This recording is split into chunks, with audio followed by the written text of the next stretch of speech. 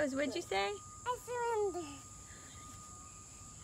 The ant has to put his hands up.